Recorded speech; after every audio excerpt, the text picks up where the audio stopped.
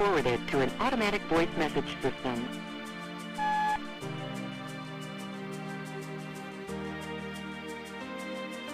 We are like birds. Birds who believe they can only walk. And that flying only applied to our ancestors, if it ever happened at all. Or perhaps was for those yet to come. So sadly, flying is not a part of our now. It's not a part of our today anymore. Why is that? Did we lose our wings? No, we have those. Did we lose our ability? No, because that is innate. We lost our belief. Somehow we lost the belief that we can fly.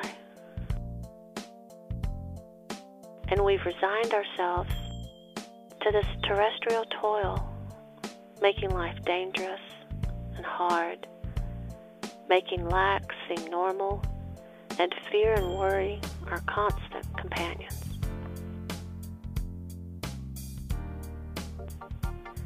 And in today's world and these conditions, how crazy, how completely insane does the bird seem who dares to leave the safety of the ground and hops up that tree trunk to sit on that branch and take in the amazing view.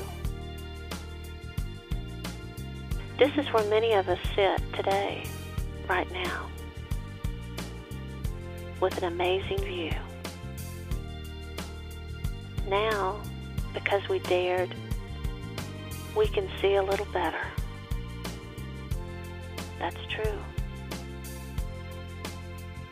But we aren't going anywhere. And there is more. And we know this.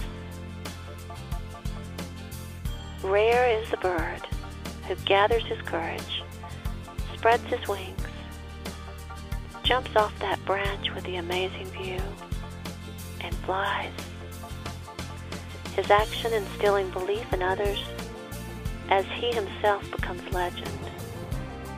Yet, has anything amazing really happened here? Hasn't?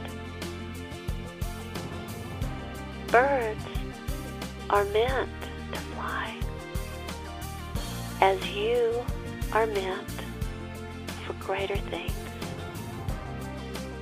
So if you aren't yet on the branch enjoying the view, get on the branch.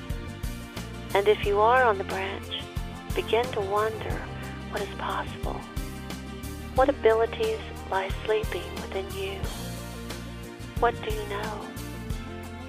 What do you know? Take a look. You may be surprised.